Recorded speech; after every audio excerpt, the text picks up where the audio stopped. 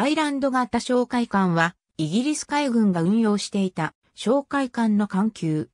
1973年に開幕した第3次国連海洋法会議で、巨岩200海里の排他的経済水域に関するコンセンサスが形成され、新海洋秩序時代への道が開かれた。また、イギリスでは1960年代より北海油田の開発が進められており、その警備の必要性も増大し続けていた。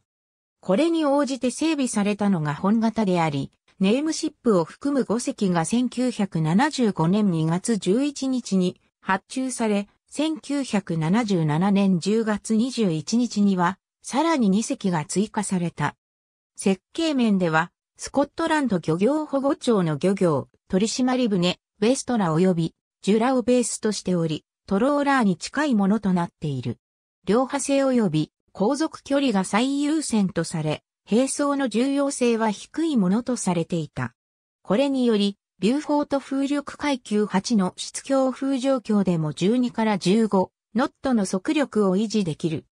ただし北、大西洋で活動するには、同様性能に難があったことから、収益後にビルジキールを大型化するとともに、最終2隻はフィンスタビライザーを装備して竣工しており、他の5隻も後日装備としている。高校の合理化のため、デッカケーンズ -2 統合広報システムを搭載している。警備救難のため、エーボン C レーダー複合艇2隻を搭載していた。